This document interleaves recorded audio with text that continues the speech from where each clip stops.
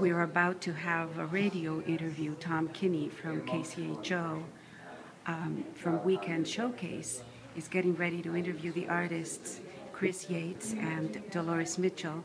And he's getting a little oriented here in this show, but the crowds are already coming in.